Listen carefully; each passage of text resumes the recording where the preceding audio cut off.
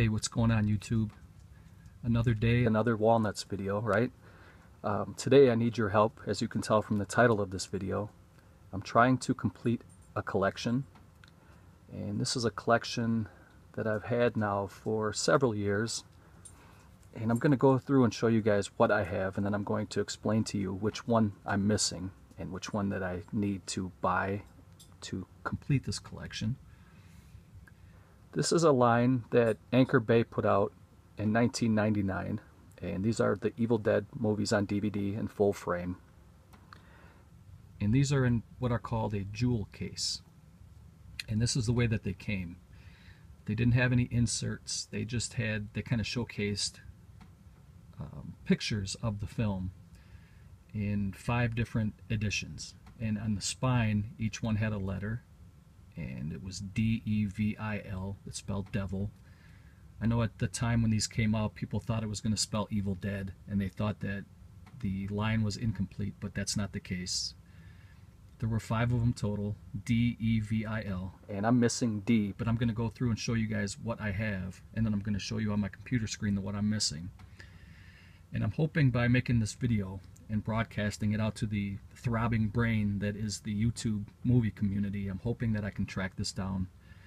I did come across the one that I'm missing a couple times, but unfortunately it just wasn't right. It was either way too expensive, um, but most of the time it was either cracked or messed up, and I'm trying to either get it sealed or in brand new light condition to complete my collection here.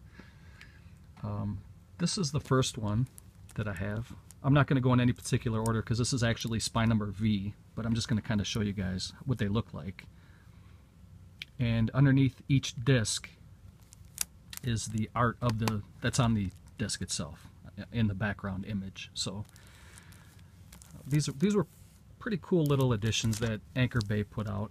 And I remember seeing these back at my local Sam's Club back in 1999, but I never grabbed them.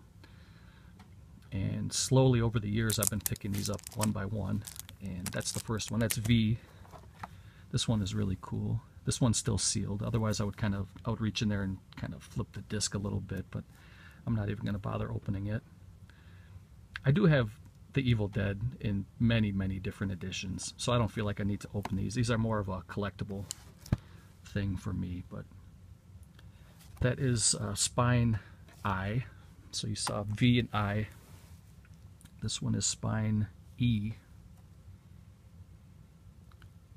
There you can see him with his axe and his boomstick.